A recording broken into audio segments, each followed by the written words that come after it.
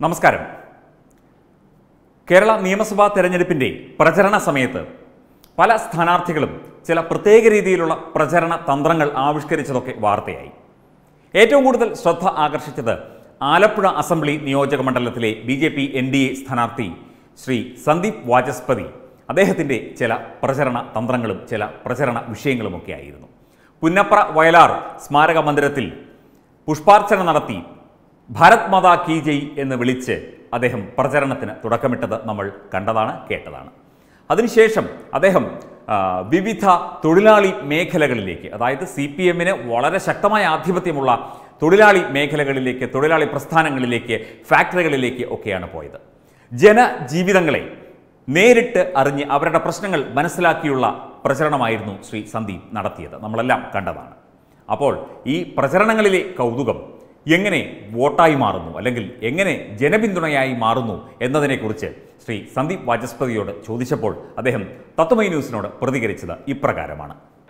അല്ല ഇതിപ്പം ആലപ്പുഴ എന്ന് പറയുമ്പോൾ സാധാരണഗതിയിൽ ഇടതുപക്ഷത്തിന്റെ ഒരു ശക്തി കേന്ദ്രമായിട്ടാണ് അറിയപ്പെടുന്നത്. പ്രത്യേകിച്ച് ഡോക്ടർ തോമസ് ഐസക്ക് അദ്ദേഹം അദ്ദേഹത്തിന്റെ ഒരു വോട്ട് ബാങ്ക് എന്ന് പറയുന്നത് ഈ തൊഴിലുറപ്പ് പദ്ധതി അല്ലെങ്കിൽ കുടുംബശ്രീ ഇതൊക്കെയായിരുന്നു.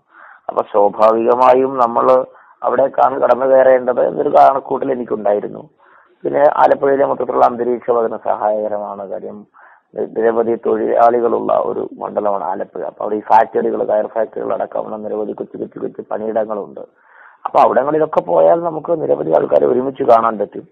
അപ്പൊ അതുകൊണ്ട് ഒരു ഗൃഹ സന്ദർശനം എന്നതിലുപരി ഒരു തൊഴിലിട സന്ദർശനത്തിലേക്കാണ് ഞാൻ കൂടുതലും പ്രചരണം മാറ്റിയത്. അവരുമായിട്ട് പോയി സംവദിക്കുക അവരെ നേരിൽ കാണുക അവരുടെ പ്രശ്നങ്ങൾ കേൾക്കുക അവരുടെ സംശയങ്ങൾക്ക് മറുപടി പറയുക.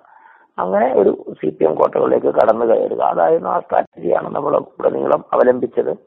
അതിന് വലിയൊരു സ്വീകാര്യത കിട്ടിയെന്ന് ഇപ്പോഴാണ് അത് മനസ്സിലാവുന്നത്. നമ്മൾ അന്നേരം സോഷ്യൽ മീഡിയയിൽ നിന്ന് നോക്കാൻ ഒരു സമയമില്ല. പക്ഷെ ഇപ്പൊ പലരും വിളിച്ചു പറയുന്നു അത് വളരെ ഇഫക്റ്റീവായി എന്ന് പറയുമ്പോൾ ഒരു സന്തോഷം.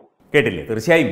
തികഞ്ഞ വിജയപ്രതീക്ഷയിലാണ്. ആലപ്പുഴയിലെ ജനങ്ങൾ അദ്ദേഹത്തിനൊപ്പം നിൽക്കും. സഖാക്കന്മാർ പോലും അദ്ദേഹത്തിനൊപ്പം നിൽക്കും. അദ്ദേഹം സഖാക്കന്മാർ അദ്ദേഹം ജീപ്പിൽ പോകുമ്പോൾ സഖാക്കന്മാർ അരുവാൾ ചുറ്റിക കൊടി ഉയർത്തിക്കൊണ്ട് അഭിവാദ്യം നൽകുന്ന ചിത്രങ്ങളും അതിന്റെ വാർത്തയുമൊക്കെ നമ്മൾ കണ്ടതാണ്. വളരെ വ്യത്യസ്തമായ പ്രചരണ രീതി. ജനങ്ങൾക്കൊപ്പം നിൽക്കുന്ന ഏറ്റവും താഴേക്കിടയിൽ നിൽക്കുന്ന പാവപ്പെട്ടവർക്കും സാധാരണക്കാർക്കും അവരുടെ പ്രശ്നങ്ങൾ ചോദിച്ച് മനസ്സിലാക്കി അവർക്ക് വേണ്ട കാര്യങ്ങൾ എല്ലാം ചെയ്തു കൊടുക്കും എന്ന് വാഗ്ദാനം നൽകിക്കൊണ്ട് ആലപ്പുഴയുടെ നഗരപ്രദേശത്തിന്റെയും ഉൾനാടൻ ജലപ്രദേശത്തിന്റെയും ഒക്കെ സമ്പൂർണ വികസനത്തിന് തൊഴിലാളി പ്രസ്ഥാനങ്ങളുടെ സമ്പൂർണ സമ്പൂർണമായ ഉന്നമനത്തിന് സാധാരണക്കാരുടെ സമ്പൂർണമായ വികസനത്തിന് ഒക്കെയുള്ള വാഗ്ദാനങ്ങൾ കൃത്യമായി തന്നെ നെഞ്ചിൽ കൈവച്ച് നൽകിക്കൊണ്ടാണ് ശ്രീ സന്ദീപ് വാചസ്പതി വോട്ട് തേടിയത് ജനങ്ങൾക്കിടയിലേക്ക് ഇറങ്ങിച്ചെന്നത്. തീർച്ചയായും ആലപ്പുഴയിലെ ജനങ്ങൾ അദ്ദേഹത്തെ അംഗീകരിക്കും എന്ന സമ്പൂർണ പ്രതീക്ഷയിലാണ് അദ്ദേഹവും B J P N D A പ്രവർത്തകരും. എല്ലാ ആശംസകളും ഒരിക്കൽ കൂടി നേരുന്നു.